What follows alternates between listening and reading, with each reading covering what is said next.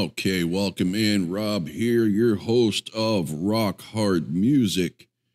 And I did some discussion with a few of the uh, viewers and kind of the consensus that we'd like to bring in here some great performances from great bands, um, kind of paying a tribute to the uh, glory days. And with that, I'm going to bring in what was requested to do stuff from uh, one of the greatest live performances I've ever seen by any band. Uh, Kiss's MTV Unplugged from 1995.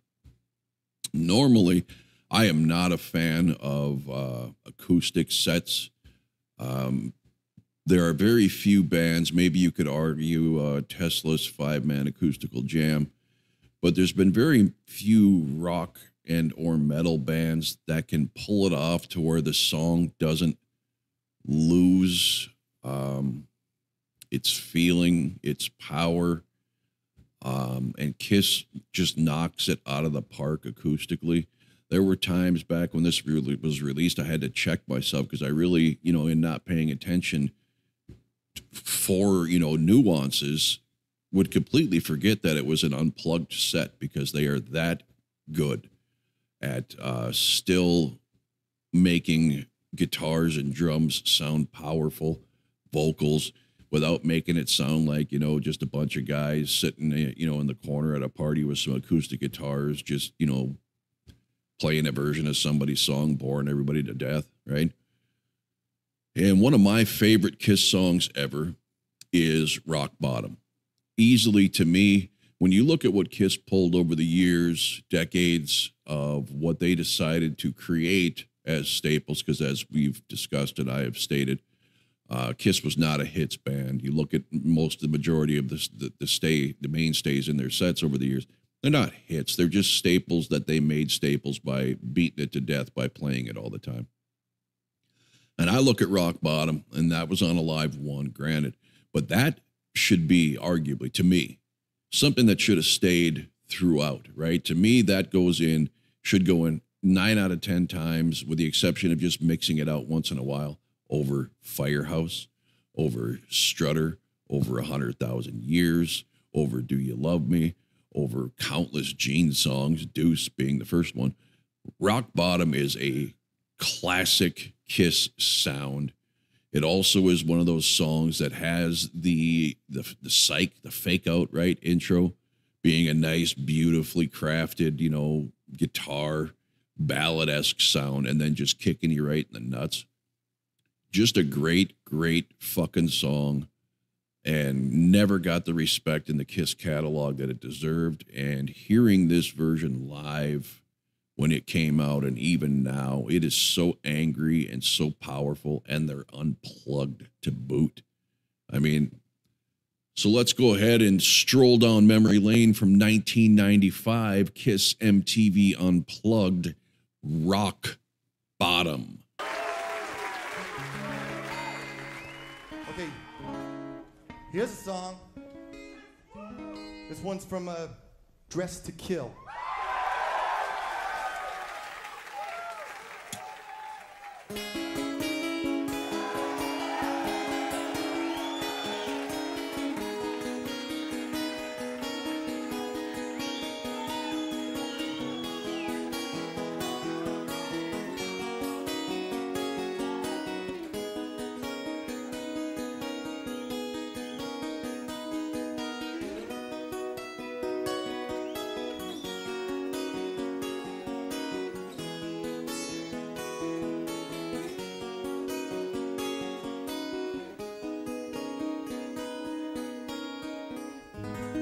Love this line.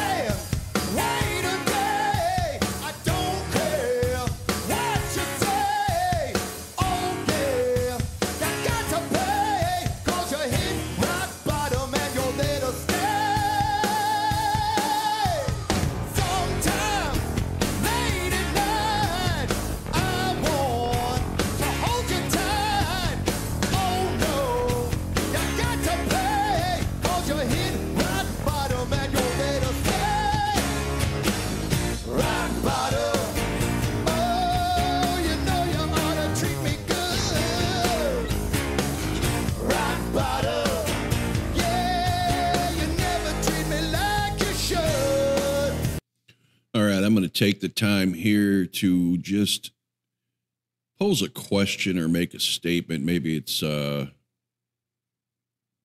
I don't know. Um, maybe it's my bias coming out because the 80s and 90s were my favorite time as a young teen growing into young manhood. But how can these people who bag on 80s Kiss not see and hear how much stronger and more incredible Paul Stanley's voice was than the 70s? You always get that reference right when people are talking about Paul struggling in the 2000s when his voice, you know, went shot. Oh, I wish he could sound like he did in the 70s. Why? Paul was at his peak power performance and vocal range in the 80s to early 90s. And this song truly showcases it. Fact, most of this concert showcases just what an iconic voice this man has. Let's go.